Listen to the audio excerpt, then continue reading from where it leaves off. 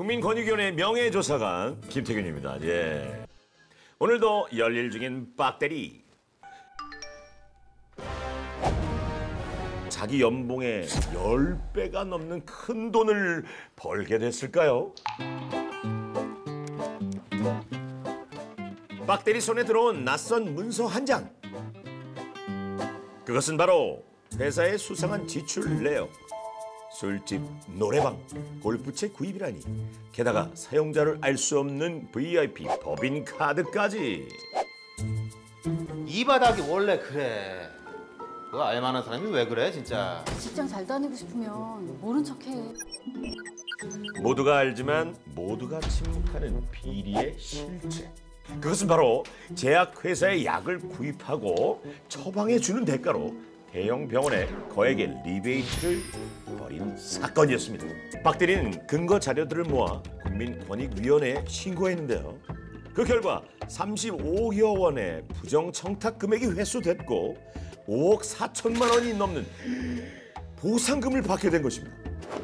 내부자 공익 신고는 국민권익위원회에 신고할 수가 있습니다. 금액은 행정처분액의 4에서 20% 최고 놀라지 마십시오. 30억 원까지 받을 수 있다고 합니다. 우와 대박이네.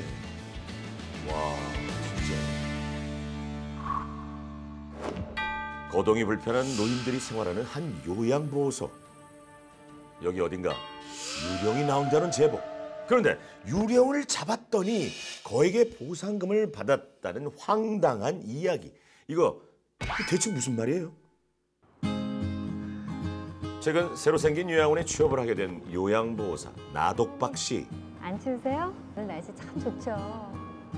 그런데 노인을 돌보는 요양보호사는 그녀 혼자뿐이었습니다.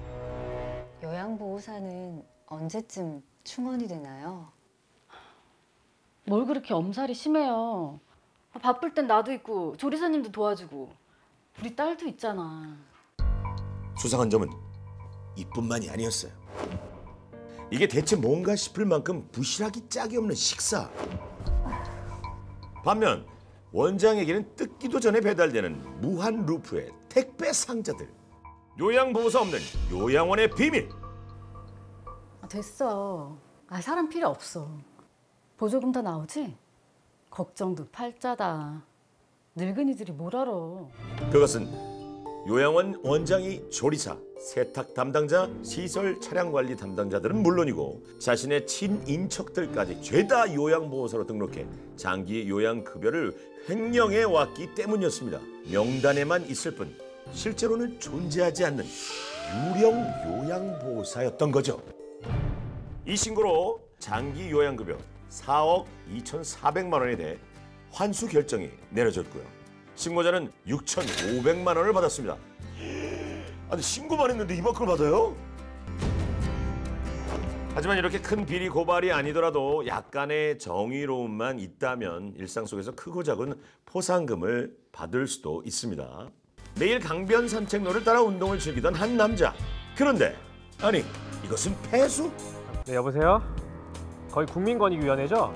폐수를 무단 방류한 업체는 3개월간의 조업 정지 처분이 내려졌고요.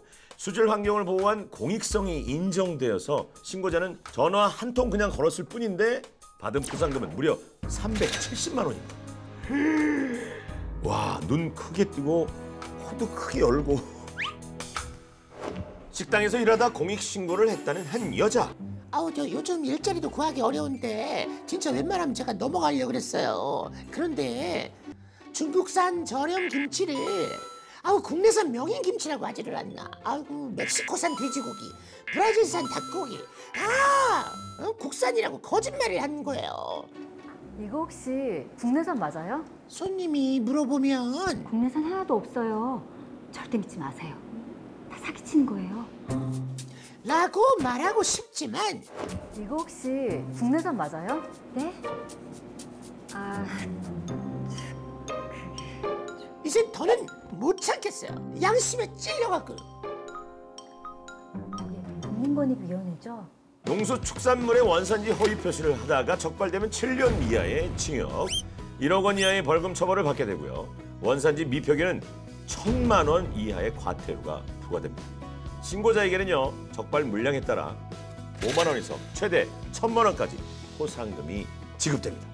포상금이 공익신고로 공공기관에 환수되거나 절약되는 금액의 일부를 보상하는 것이라면 포상금은 공익신고 상금으로 생각하면 이해하기가 아주 쉬운데요. 보상금은 최고 2억 원까지 지급된다고 합니다. 기회가 된다면 꼭 여러분도 실천해 보시기 바랍니다. 지금까지 명예조사관 정민의 유산균 김태균이었습니다.